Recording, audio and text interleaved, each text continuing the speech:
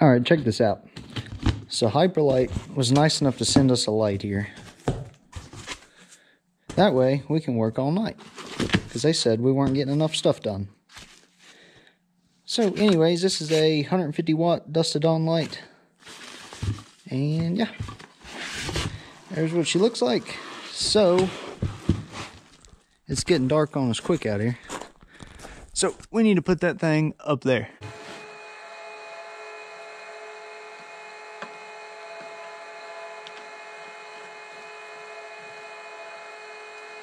Okay, so for mounting this, I wouldn't mount it just to OSB. We added this 2x10 here to mount to that, perks of having the walls unfinished. Uh, you're one too far. Move back over one. Yep, right there, you're dead on it.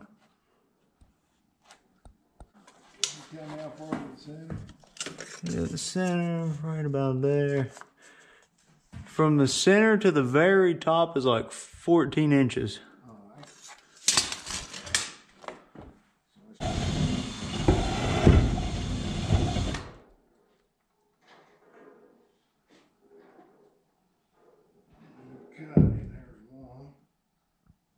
All right, we got this guy temporarily wired up to an extension cord.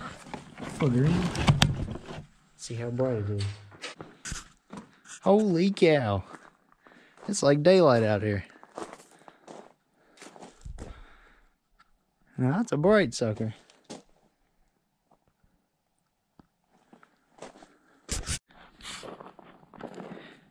But yeah, like, I don't know how well the camera does it justice, but I mean, you can see, like, wait, I mean, this thing is crazy bright. Like, I don't even think my light tower was this bright. But uh, let's see what it looks like from up in the air.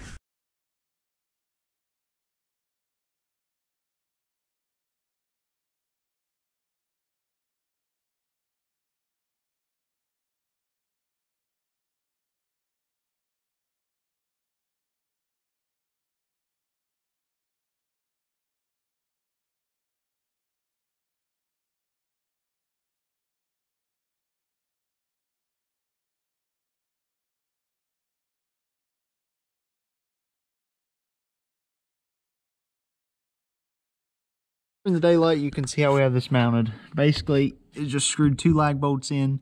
I definitely wouldn't mount that to just OSB because, I mean, that's, you know, quite a bit of weight hanging out here. But, so, like I said, we put that 2 by 10 in here, so it's got plenty of meat to grab onto. And then here's a good look at the light. Photo cell up here, and yeah. And then temporarily, we just hooked this up to an extension cord end. Of course, I'm going to leave this end on here. And whenever we close in these eaves here in the next week, I'm going to just put a receptacle up here, plug it right in. Then if I ever have an issue, just unplug it, put a new light up, super simple.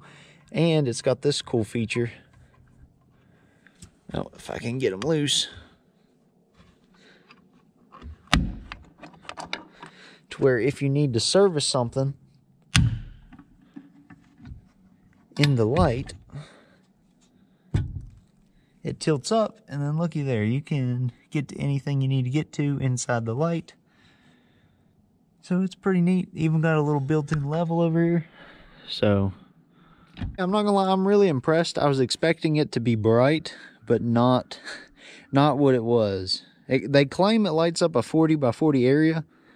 I think that's a little bit of an understatement because the house is 30 feet across and it was shining all the way down in the woods that way and the woods in that side over there. And it shined all the way down to that building. So i mean that's a huge area. And like all this gravel here i could stand out here and work all night and see perfectly fine. So so yeah i'm pretty impressed with that.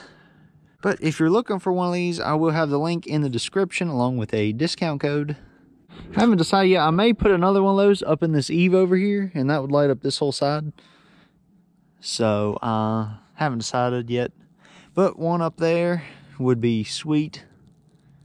So, and then of course I could put up a pole and add another one up there somewhere and it would light up everything, so. But I really, really, I was only concerned with back here because that's after dark, that's where I'll be working, so. Pretty much it for that. I think that thing is like 22,000 lumens. Here is their specifications. So the one I have right now is the 150 watt, which is the 22,500 lumens.